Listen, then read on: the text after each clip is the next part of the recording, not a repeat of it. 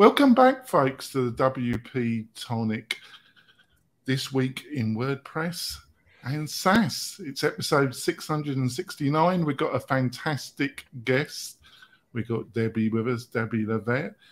And I'm going to let Debbie introduce herself. She's the founder and CEO of Delta CX. We're going to be talking about all things UX. Um, I'm pumped up for the discussion. Debbie's a bit a character. She's up for it. So, Debbie, would you like to quickly introduce yourself to the tribe? Yeah, thanks for having me on the show. Good to see you, Jonathan and Spencer. I'm Debbie Levitt. I'm from uh, Delta CX, and you can find us at deltacx.com. Basically, we are a full service CX and UX consultancy, helping people with UX and CX projects, uh, helping customers and companies shift towards more customer centricity helping people find ways to save time and money and uh, improve their business intelligence and risk mitigation through fantastic customer experiences. So I've got over 20 years in strategy, research, and uh, design, though my background is not art. I come from the psychology side. So I'm happy to answer any questions anybody has about UX, including what the heck is that? That's great. And uh, um, my normal co-host Stephen is still sunning himself in Mexico, the swine, and but uh, but a regular panelist on my Friday round ta- round table show has agreed to join me, even though he's feeling a little bit poorly. That's Spencer Forman. Spencer, would you like to introduce yourself to the tribe? I want to first say I love Debbie as a guest because she and I share so many commonalities. As I go, I have a psych background. My whole business revolves around customer experience. But I'm Spence from WPLaunchify.com. Many of you know me already who listen to the show. But I definitely, when we get started, want to ask Debbie to define some things because I think a lot of people don't understand what is CX or UX. I mean, there's a lot of good acronyms there, but Yes, they love in that field. They love their acronyms, that's for sure. Uh, um, but before we go into the main part of the interview, we got a message from one of my major sponsors. Be back in a few moments, folks. We're coming back. I just want to point out that Castos is offering a fantastic special offer for the tribe. Plus, if you go to the specific page, there's some other great offers. And also, if you're looking for the best recommendations for a Pacific plugin or WordPress service, you'll find them on this page. How do you get to that page? That is the question.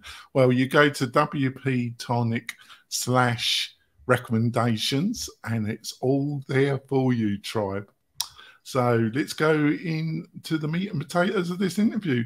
So, um, Debbie, um, you, you, I think you're best well known in the UX community as somebody that's not got the best feelings towards design thinking.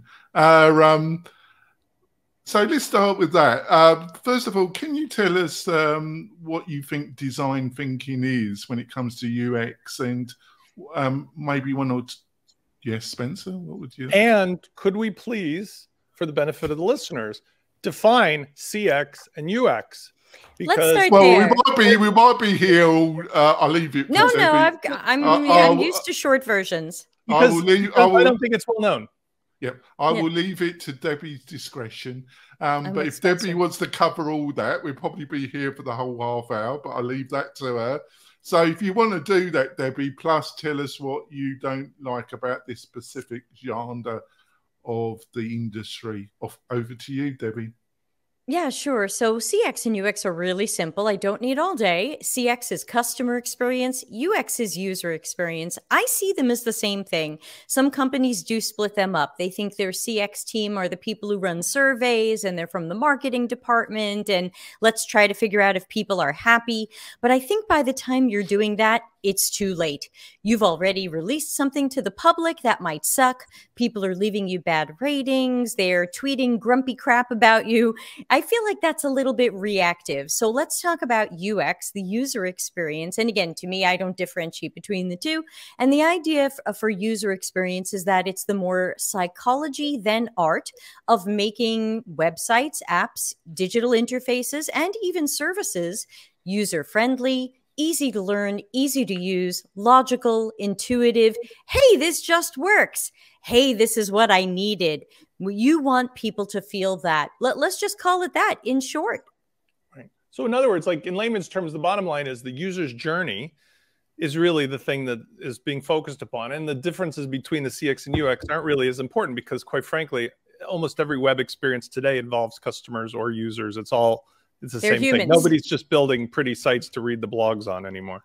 Nobody right? wants your brochureware. They, the, you know, everybody comes to your site with a task to accomplish, whether that task is consuming content or uh, perusing things, you know, deciding to buy and then actually buying. And and we we need to make sure everything is built for all of those tasks to make them easy and obvious. So hopefully that definition flies for for my panel here today. and let's talk about design thinking because design thinking is hot and often talked about, but the amazing thing is that no two people seem to have the same definition of it. So I am against design thinking because what is it? Um, we did an episode on my uh, show, episode 108 on Delta CX YouTube channel called What Isn't Design Thinking?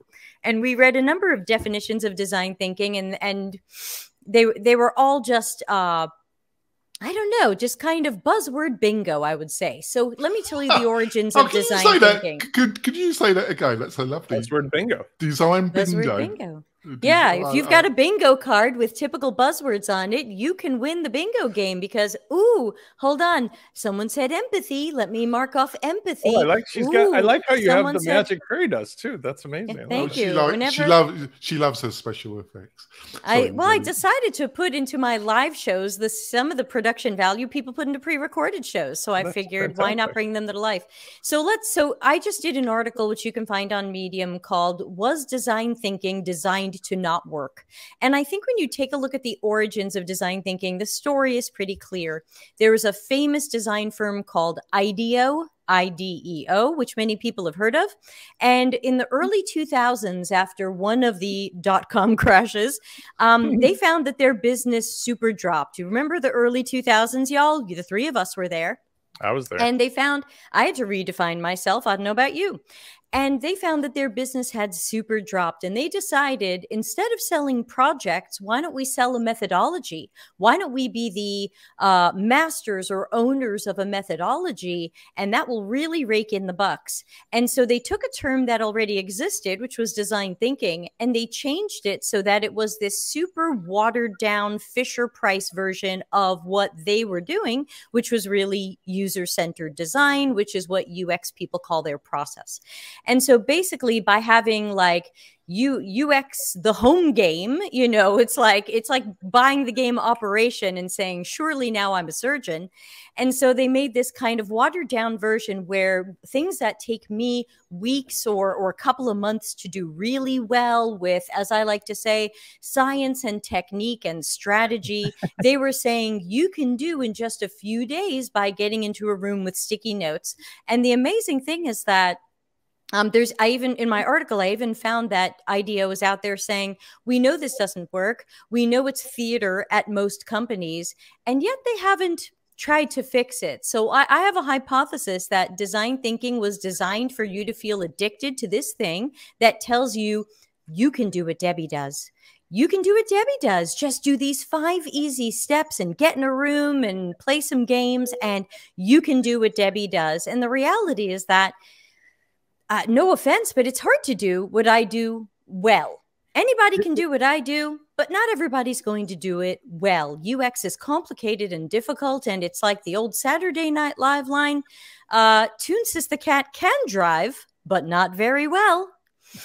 is this so, like Five Love Languages, the book that comes out? That if if literally you want to oversimplification, you need to yeah. use words of affirmation, or you need yeah. to use you know, touch or whatever the five are, because it sounds like what you're saying is there's a professional level of understanding that's required and experience to really do this effectively. But somehow this idea is sold the public or the corporate public on the idea that just pick one of these five boxes and have somebody read off the, you know, what's on the card and everything will be groovy.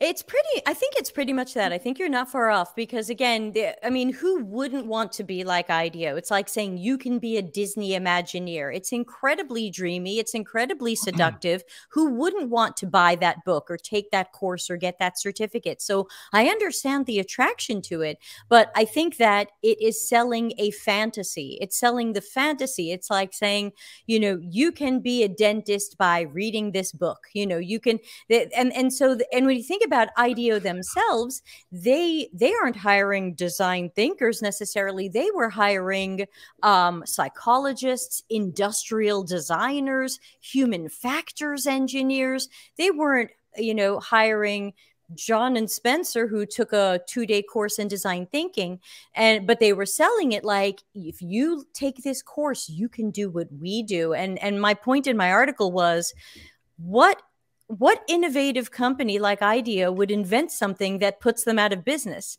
They would have to leave something out so that you would always need them. It's like how my grandmother never told you there was coffee in her chocolate cake, and that's why it tasted so good.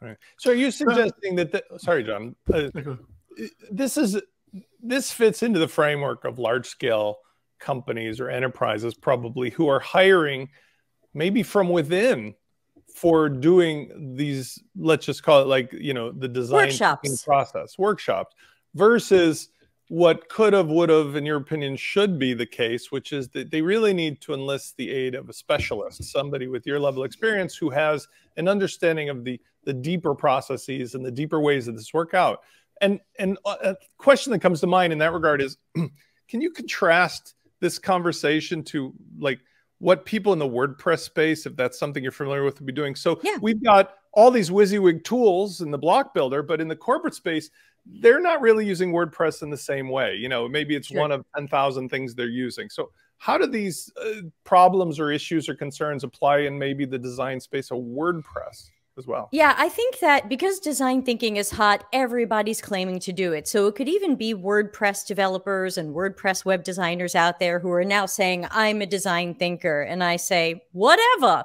But I think when you think about WordPress, and I certainly know a couple of things about WordPress, I've been using it for mm. many years. And my boyfriend is uh, not only uh, running his own WordPress design company, but he's heavily involved with WordPress on the Polyglots team. He uh, translates WordPress elements into Italian, which means he also gets uh, sneak previews of things. And so, um, so if you ever see at Pier Mario ever in the uh, Automattic Slack, that is my boyfriend, and love him. Hi, honey.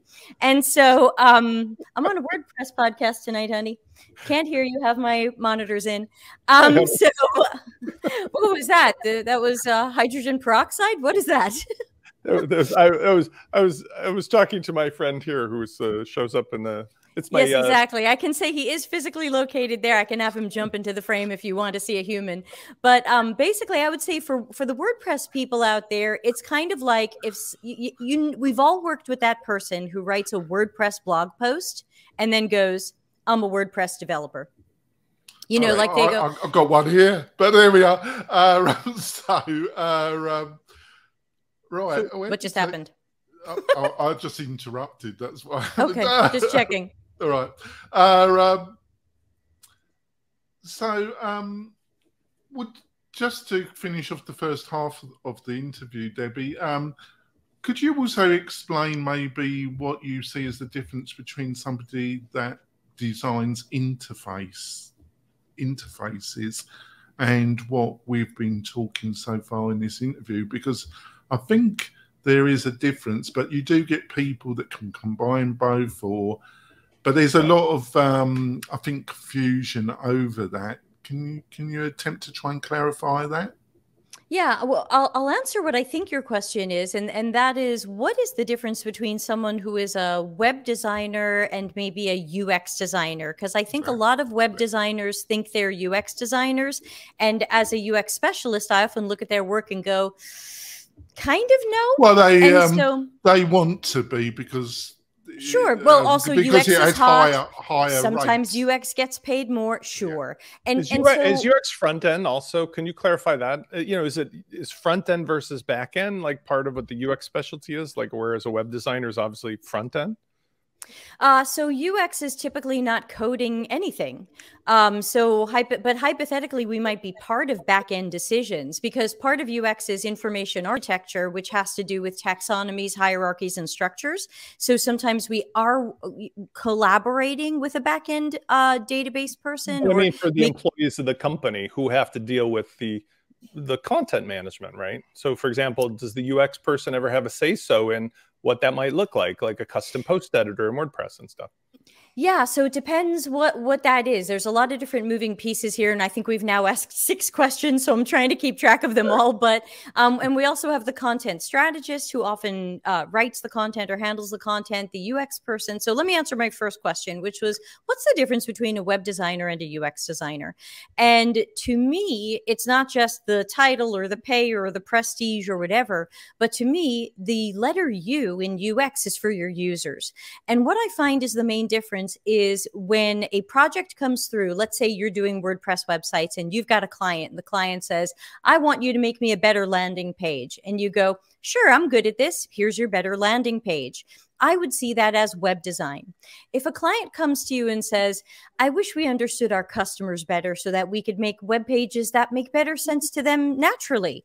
And then if you're a UX practitioner, if you're a researcher, you could say, Great, I'm going to spin up some research with 20 or 30 of your users or customers or visitors or target audience who've never seen your website. And I'm going to tell you more about people. I'm going to tell you more about their decision making, their tasks, their processes, their, their preferences, and their priorities so that we can build the best website for them. And then before it goes live, I'm going to do usability testing to make sure that we really have built the right thing for people. It's kind of the QA a of UX. And so that's what a UX process looks like in super short and how it's different from web design because uh, many uh, UX designers do start out as web designers, but you would have to be studying more of that psychology and more of how you research or interact with users to really learn from them. Because when we go into interviews, we don't say, Hey, what do you want? We don't do that. We have all kinds of psychology based techniques where where it's really the science of the thing and it's not hey what do you want? or hey if i built a thing that had a thing would you want it? You know these are all very bad questions but are commonly asked by people who really don't know what else to do.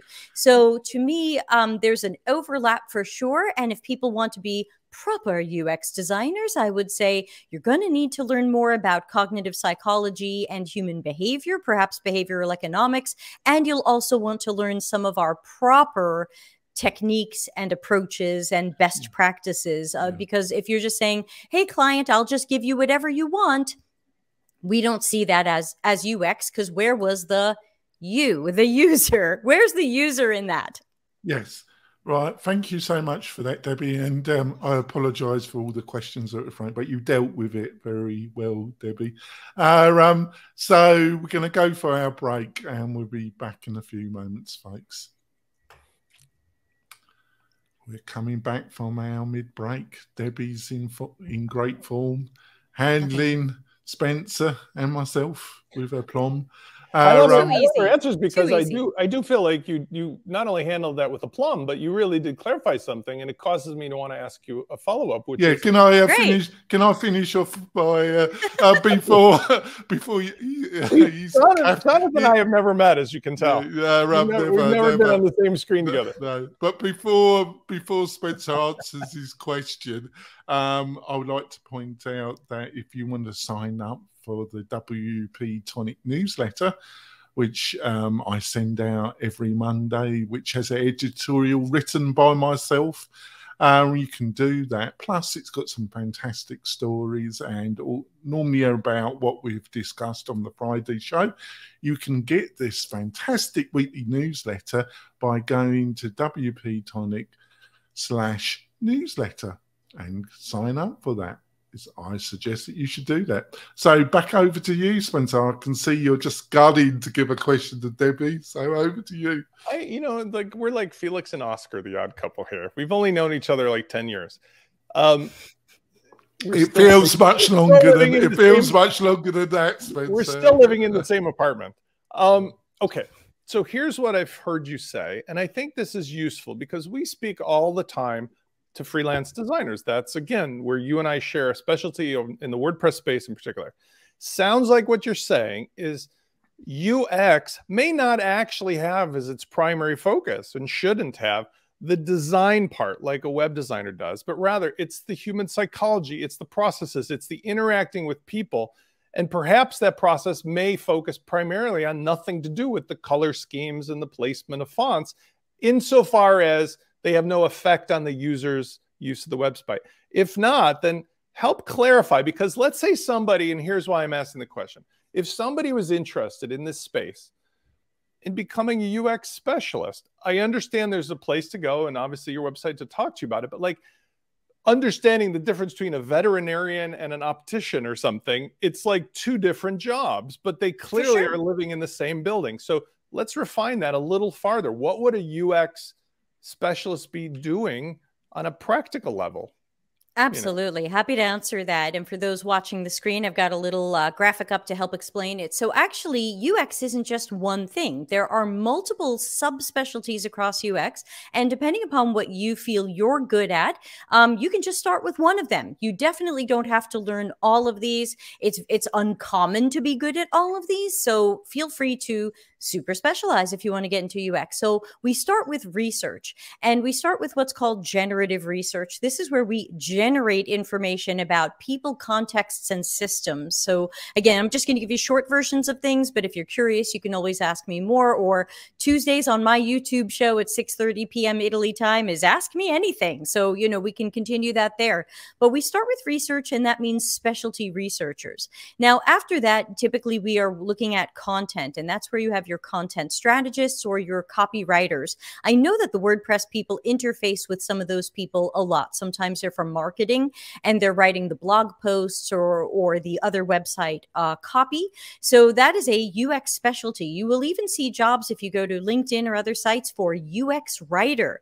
It's a thing. And what makes a UX writer different for those of you writers out there is that our specialty is to say it as short as possible. So it's not really a long form style, it is a short form style, especially for what should the button say so people get it and do it um, rather than a, a long form. for style. the elements on the page? We do. We have is a copywriter. Yeah, we have a we have people who agonize over what a button should say, and sometimes we will A/B test that for weeks. Okay. Then we've got information architecture, which is something you can study. I do recommend the O'Reilly book with the polar bear on the cover. Information arch- architecture for the World Wide Web. The latest edition, I think, came out in 2017 or 18. Uh, O'Reilly book with a polar bear uh, on it. It's long, but it's good, okay. and everyone should know information architecture. Even you, web designers and WordPress peeps, you can absolutely absolutely put this to good use and you will start making better websites for it. I promise, even if you don't get into UX. Then we've got what we call interaction design. This is when we're making wireframes and prototypes. Now, some people jump right into WordPress and they start making the pages. Some people mock them up, sketch them up, you know, something like that. We call that interaction design because you are designing the interactivity. You're not necessarily doing the visual design or the branding, like you said, the color or the, the typography. So when you think of a UX designer, they're typically doing information architecture and interaction design. Then you've, and then we have testing because you want to test it. Sorry, I don't know where I'm on my own screen here. Testing, that's done by a specialized researcher. Sometimes the designer's good at it, usually the researcher's better at it. And then we've got visual design. And so, visual design, sometimes called UI design, maybe some people think of it as brand design. Uh, that's going to be where you have your logo, your colors, your typography, the spacing of elements. It could be a style guide, a component library, a design system, a UI kit. It could be any of those things that we are going to be integrating so that you have that uh, recurring, that's more of the look and feel layer. Whereas uh, interaction design can actually be done without that. That's where you hear boxes and arrows, where, you know, we're drawing kind of a blueprint version of the website with placeholders before, uh, before we finalize it. So for those of you web designers curious about UX, you could be looking at research. You could be looking at content strategy and writing. You could be looking at information architecture and interaction design, or if you're more artsy, you could be looking at visual design. That's great, Debbie. Um, I've been watching uh, before this interview. I watched uh, quite a few of your um, recent interviews over the past year. Thanks. And I sense um, I sense that the industry feels that it's a little bit in crisis. Um, first of all, would you agree with that statement? And if you do agree with that statement, what do you think are the things that have led to that overall feeling in the industry? Yeah, I think UX is in a bit of trouble because what happens is we're typically hired into companies who don't understand what we do. I mean, even today you, uh, in this interview, it's true that a lot of people don't understand what we do. I'm here explaining it. You know, it's not like I said, I'm a lawyer and you said, I know what that is. You know, we when we talk about UX, everybody's like, I, I don't know what that is. And we're very often hired into companies and corporate environments, and people don't understand what we do and they think we're web designers. They think it's just, hi, you're here. Can you move this button over here? And we are problem finders and problem solvers and critical thinkers and and mini lawyers. And so we don't want to just move that button there because we, we want there to be a good reason for that. We want that to solve a real problem.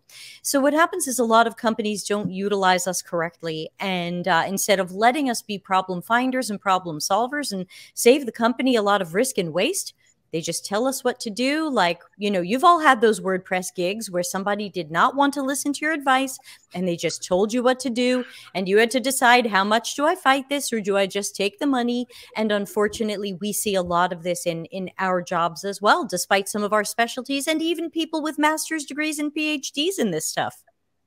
Do you feel that, sorry, John, do you feel that from what you just described, do you feel like that there would be a possibility that a UX person – would obviate or remove the need for a web designer in some situations. Because when you describe those six different steps or, specialties i was asking myself now where would a web designer fit into this after you've already got a ux person yeah, so it's interesting. The uh, company where I'm consulting right now actually has some separate people doing UX design and uh, WordPress stuff.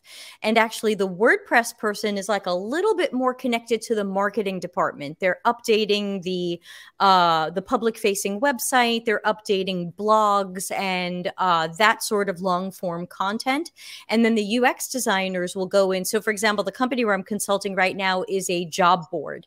So they're kind of a competitor competitor to Indeed. If you think about, you know, posting jobs, looking for jobs, and that's the company where I'm uh, consulting right now. In fact, Jonathan is, I believe, from England. It's uh, Total Jobs, and uh, in Germany, it's Stepstone. So that's where I'm consulting right now and so the the web designers are handling that kind of marketing content need and and website need and then the ux designers design the job board system.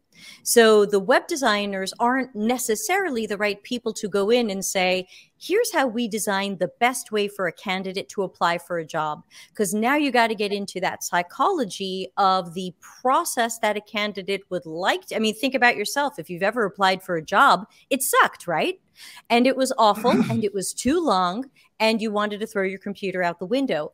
The UX researcher needs to look into what's going on with that, as I like to say, are people, contexts, and systems. And then the designers would take the knowledge from the researchers and they would be able to um, say, okay, this is the best way for someone to apply, to search for a job, find a job, apply for the job. And it's real, that's where a lot of that psychology comes in. So I think there are places in companies for both people. So web designers can be web designers even if they don't want to get into UX. And there will always be need for WordPress specialists and web designers. I mean, that's what my boyfriend's been doing for decades, and and he can make a full time living at it. I mean, that's great. What what that's great. An imp, just what maybe you're saying they're like an implementer. So in other words, the UX person is sort of mapping out all the important details to hand off to a, an implementer who's a WordPress specialist, and then they so to, Actually, in, in the case of most corporate environments, the UX designer is not handing off to a WordPress person. The UX designer is handing off to an engineering team who builds the functionality. Because typically, something like a job board website or a LinkedIn or whatever doesn't have WordPress as its platform. The WordPress platform exists for the public facing website and the blog and the careers page and the come work for us and about us and all of those things. But once we get into the actual product, that's usually usually not built on a WordPress platform. That's usually custom coded by the company, um, and that so usually the UX people are not necessarily dealing with the the WordPress people. The UX people are talking directly to Agile and Scrum teams, who are then doing the back end and front end coding and and APIs and services and things like that. Yeah, we're going to be wrapping up the podcast part of the show. Hopefully, Debbie will stay on with us for another 10 15 minutes for our bonus, sure. con- bonus content. Um, you can watch the whole interview plus the bonus content on the WP Tonic YouTube channel. Please go over there and watch the whole interview plus the bonus content. Debbie's got a fantastic YouTube channel. She's very um, generous with her time. And if you're interested in what we've discussed, I would um, say definitely go over to Debbie's YouTube channel. It, that will be in the show notes on the WP Tonic website.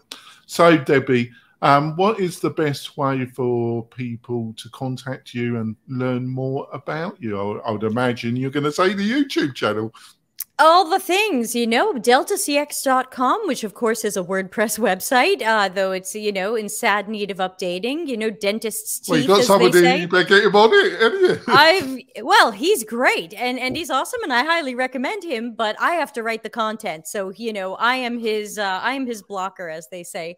Um, but yeah, deltacx.com, though in need of updated content, you can find me on LinkedIn as uh, Debbie Levitt, uh, D B B I L V like Victor I T T. And of course, my YouTube channel is called Delta CX, and I'm usually live three or four times a week uh, with various shows. On Monday, I teach design. On Tuesday, I take questions. On Wednesday, I usually do interviews or discussions. And on Friday, we make fun of wacky crap. That's mm-hmm. great. And Spencer, what's the best way for people to find out more about you and what you're up to, Spencer? Uh, WPLaunchify.com. That's great. Um, in the bonus content, I've got my own um, thoughts about why the UX is in crisis. Uh, interesting fact, listeners and viewers, I did my degree in UX design and I did my master in this subject. Um, so I know a little bit about it. Um, we'll be back next week with another fabulous guest like Debbie. We'll see you soon, folks. Bye. Thanks. Bye.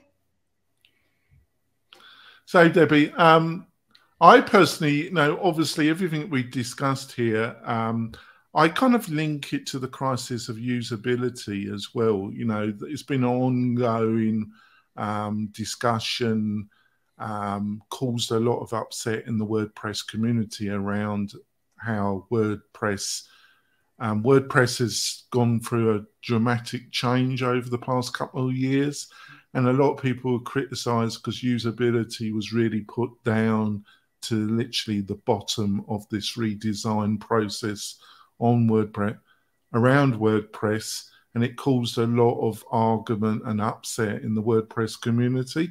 I've but heard. Um, and um, I think it's really linked to what we've discussed around UX design because I think fundamentally this is about money um, and the allocation of resources. There is always um, a limitation unless you're dealing with highly financed large companies.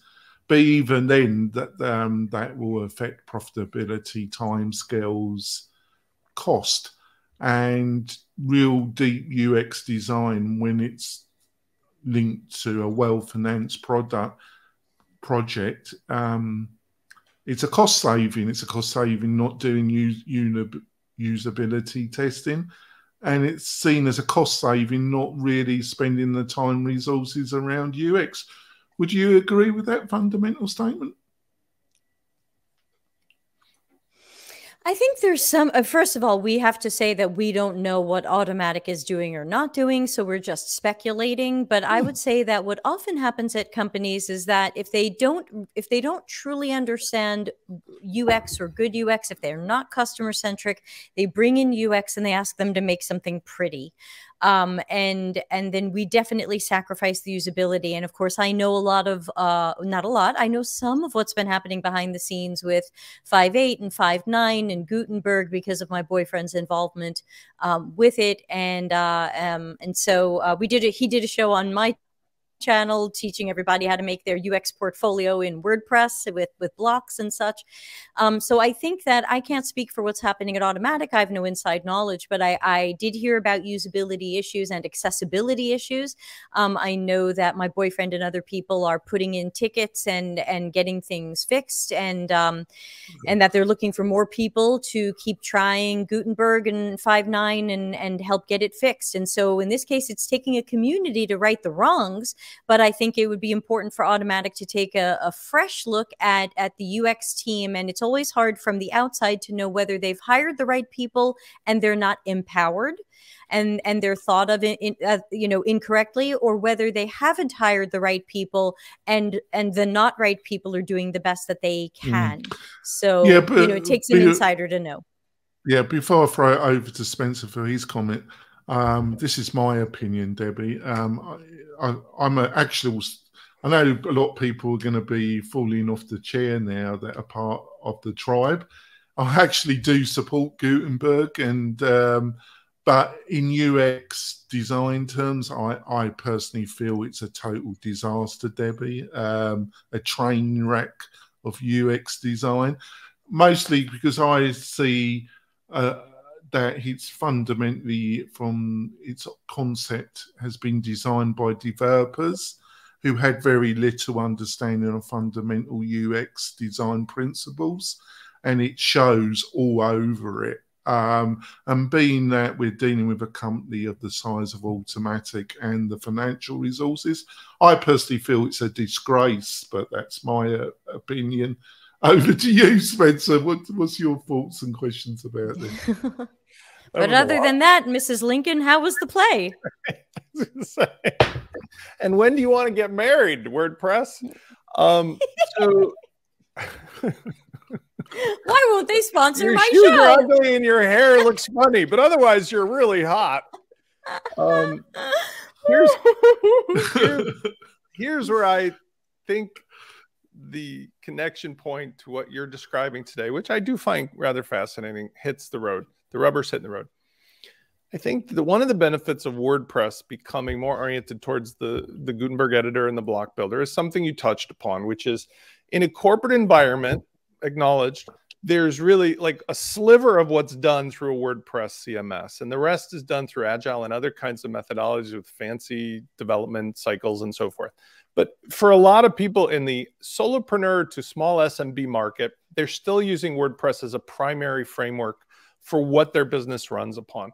So, what I'm pulling out of what you're saying today is for freelancers, a marketplace that I served and taught for the first 10 plus years of WordPress, maybe eight, is that there are opportunities that exist today being a UX specialist by bringing the sensibilities you can share and teach to the clients and letting them understand that the pain solution they need is not going to come from hiring some nameless, fa- faceless person who snaps together a pre made theme, but rather understanding the entire user experience and approaching it from your expertise level, much like joking aside.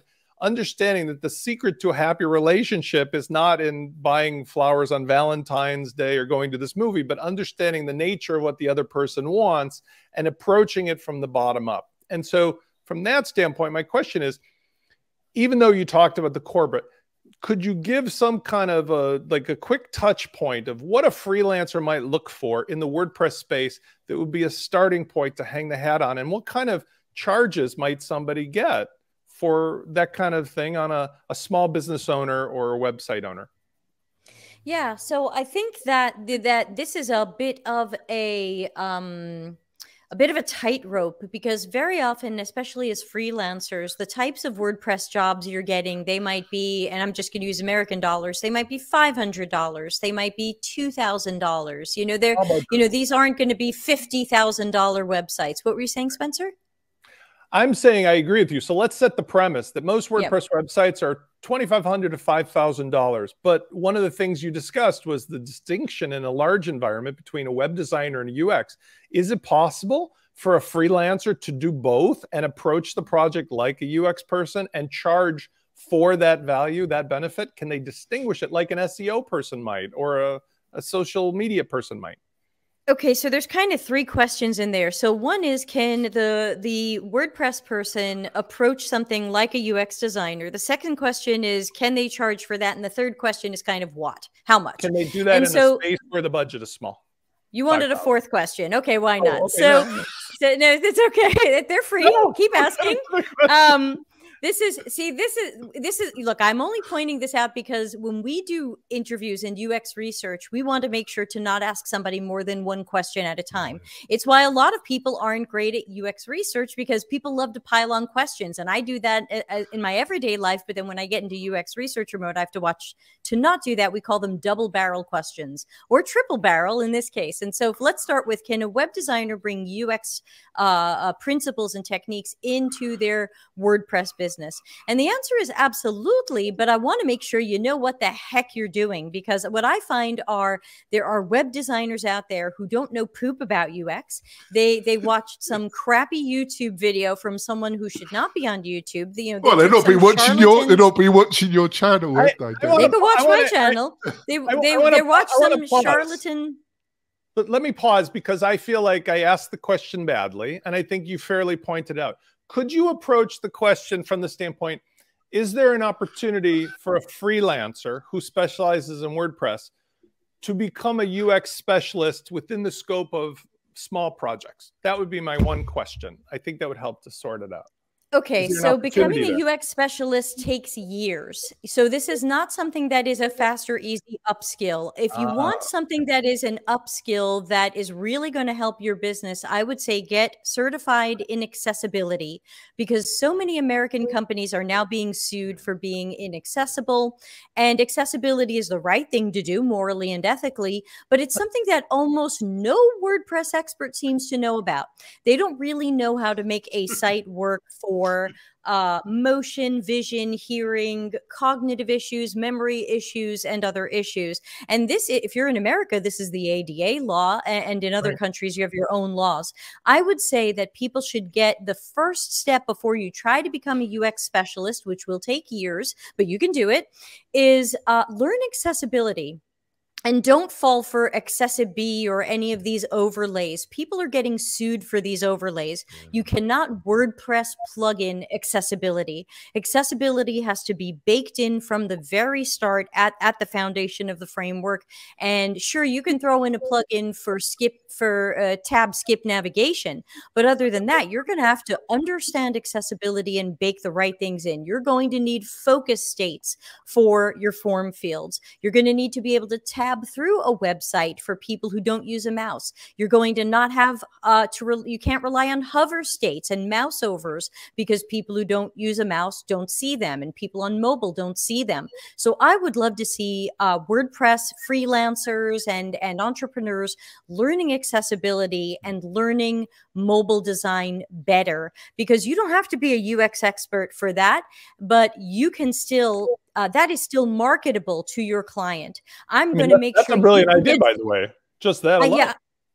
I'm going to make sure you don't get sued for inaccessibility because I'm going to make sure people with screen readers can use this and go out there and test these people's websites with screen readers. Don't just claim it and don't just use a plugin and don't just run Wave on it. Do it right. Don't do accessibility by plugin. Those people are getting sued. Google it. So, uh, you know, that I would say start with accessibility and better mobile design. Yeah, I thought that was fantastic, Debbie. Thank you, and you, are handling you're handling Spencer very well as well. well um, but he, he's like, but he's not. She, he's hold not, on. She's speaking my language because I love what she's saying, and what I was trying to get at, which I love your answer, is can we have a takeaway for the audience that listens to us, which are WordPress freelancers who are facing a changing market?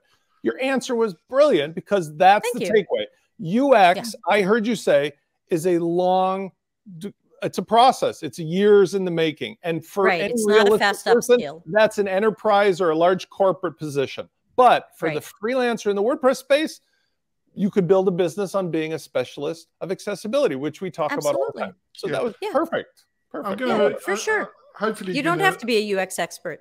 hopefully um, to finish off, I just want to put this question to you, Debbie. Uh, Sure. um, um, and I want to frame it first quickly. Um, I, I'm going to put this question, but I am no way saying that it will reduce the need to have knowledge about the subject and somebody to apply the knowledge. Do you think artificial intelligence can be utilized in the testing process so to reduce the cost a bit? So the pro the whole process which we have attempted in this interview to describe can be applied to smaller projects because obviously the whole process which you have described is um, for obvious reason costly because it, there's a lot of time has to be spent on it and it's out the budget of a lot of people. Um, but they still know it's really important. Can artificial intelligence. Do you think or do you think it's a total buzzword and it will never help in reducing the time element not remove the knowledge element of of a, of an individual that practice in this area debbie? Okay, this time I've I've didn't make my sta- mistake. I wrote down what you said. So let's um, answer the second thing first. So when we talk about UX being costly or out of budget, I always ask people to compare that to the crappy mistakes they're making right now. And how many times have people had to redo their website, thousands of dollars each time, when they could have just known the first time what was the right thing to do? You know, a website's never going to be perfect. There's always going to be a way to make it better, but these could suck way less. And, and I think the we have to compare the cost of uh, better research and knowledge up front uh, to the absolute waste and uh, uh, possible customer loss when we release something that isn't a good match to customers. So let's cross out that. That one's covered. Now let's talk about AI. So AI, um, really, when we talk about AI, we're talking about ML. We're talking about machine learning because we don't truly have a lot of artificial intelligence yet, but we do have good machine learning where the machines can be trained on particular models and then can emulate those models. Now, I don't believe that AI is going to take anybody's UX job anytime soon, um, especially in the area of research and testing, because the reality is that the the if we you know this is like design thinking again. Ooh, Debbie in a box, you know, just drink this and you're Debbie, and and I think we you know we hear the same things around AI and and ML, where the the the thing is could could um, AI run a usability test on a website? I guess so. Will the AI correctly interpret it? Will the AI see the things that I see when people are using a website? Will the AI hear the changes in people's voices? Will the AI hear them sigh and pause and know what that means? And or know the follow-up question to ask? Now you're to, you might be talking about an unmoderated study where it runs uh, on its own and then we get the videos later and we watch the videos so that would still we still we already have unmoderated testing which is very fast and very inexpensive. I can run that in a day if i know what i'm doing. But i don't think ai is going to be a help here and i think don't think it's the best use of it. Like uh, you know can ai please cure cancer now? You know can ai fix coronavirus? Uh, i don't need ai to do to do usability testing or user research. I'm going to do that way better because this is science and psychology and that's like the psychology is the opposite you know of of making computers do this so i would say let's focus our ai in uh, healthcare and places where it's going to really save lives and matter and let's keep the the the human and human centered design um, so i don't believe that uh, i do see companies claiming that ai and whatever can uh, help their customer experience but but i'm not buying into that because i, I believe that we have to keep the H in in human experience. Yeah, I mean, you're someone in the chat room is saying I AI can do some record keeping and some data analysis. Sure, but we also know that AI models get trained badly very quickly with bad data. We have the reports of Yeah. AI models not recognizing certain ethnicities. We have the report. Don't forget the what was it? Microsoft ran that experiment where they had AI Twitter, and the and the the Twitter AI bot became racist within an hour because the the models were racist. So, you know, we're not there yet. No, I don't think so. But the reason I I, uh, I thought I would put it to you because I'm sure somebody in your industry is going to parcel this and they'll plaster AI all over it to flog it. Uh, um, but also, it's a bit like web design because there was a company trying to flog that you could build your whole website using AI technology, and you, you put filled in a form and boom, and it would produce it. And it all sounds fantastic, doesn't it, Debbie? Like most You'll get what you pay for there. Remember, you know, whenever I lose a client to crazy crap like that, like when I back when I was more of a web designer, um, and I used to use lose clients to, well, I'm gonna have my dog walkers, manicurists, postman's cousin do it because he's got FrontPage. You know, what I would always say is, well, we fix mistakes you know so if it doesn't work out well just come back and you know we'll we'll fix it or we'll redo it and I can't tell you how many people came to us and were like, "Oh, can you fix my website?" And I'm like, "This can't be fixed. Like this has to be redone." So you, you know, yeah, it's, hey, a bit, it's a bit like my last marriage, really. David. There we go. Dreamweaver websites. Uh, I'm sorry, what, Spencer? Your, I heard fla- your Flash and Dreamweaver website. Yeah, you know, we never did that. We, I mean, I still have Dreamweaver and I do hand HTML, but, but yeah, we didn't get into Flash. Luckily, we we went in a different direction with uh with our stuff in in those years. But um, yeah, so yeah, not for me and not for you. And and I would say to all of you freelancers out there, this doesn't compete against you because you compete on quality. You don't. If you compete on speed, it's a race to the bottom, and you're going to lose money. You need to compete on quality. Thank you, Debbie.